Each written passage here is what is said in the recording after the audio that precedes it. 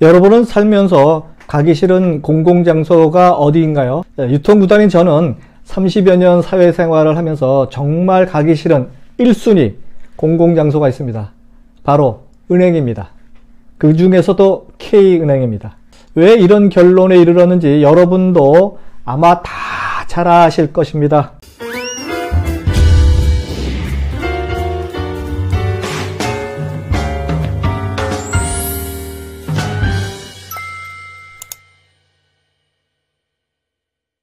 안녕하세요. 우성구단 김앤커머스 대표 김영호입니다. 오늘 부자 이야기 78번째 이야기는 K뱅크 객장 시스템의 치명적 오류 살면서 진짜 가기 싫은 월스트 1위 공공장소 K은행 편입니다. 네, 우린 이러저러한 이유 덕분에 은행이라는 공공장소에 가게 됩니다.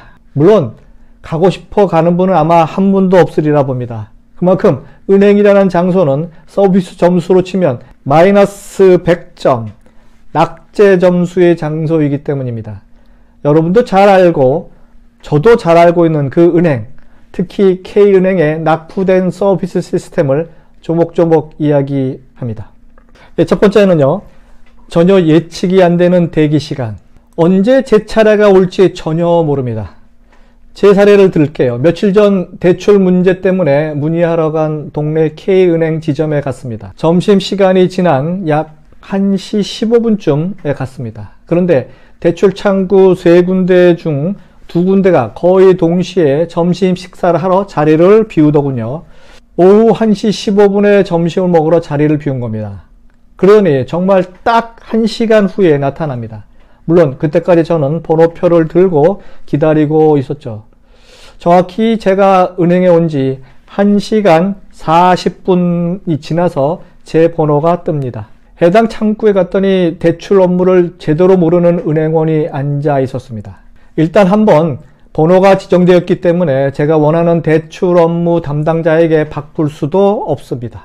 해당 은행원은 제 질문에 답하기 위해서 대출 업무 은행원에게 가서 물어보고 다시 제게 와서 답해주고 그래도 안 되니까 대출 업무 담당자가 잠시 와서 제 질문에 답하는 아주 답답한 시스템으로 진행하더군요. 이건 은행이 고객 인내심을 테스트하기 위해 만든 시스템 아닐까 하는 생각이 드는데요.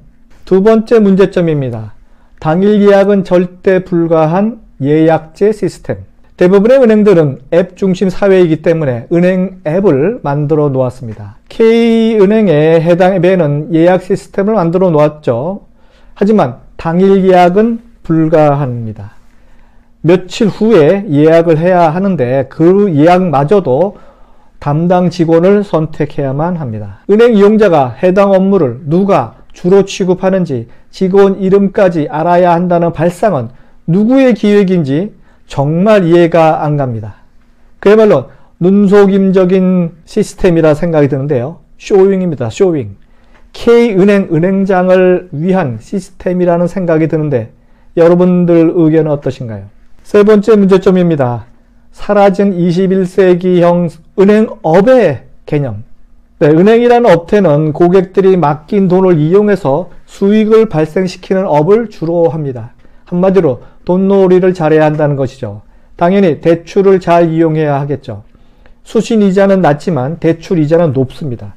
여신과 대신의 이자율 차이로 비즈니스를 운영하는 그런 업을 하고 있는 거죠. 그런데 해당 은행은 점심 식사 시간 이후에 온 고객을 무려 1시간 40분 동안이나 기다리게 합니다.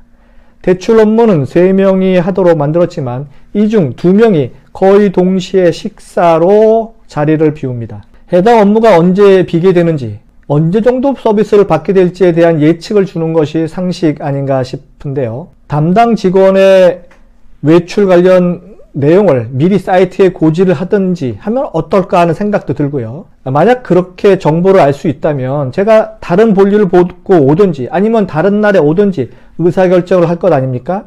은행원에 근로 권리만 중하지 고객의 대기 시간은 안중에도 없게 만든 이 시스템. 즉 고객 중심이 아닌 은행 근로자 중심형 시스템에 분통이 터집니다.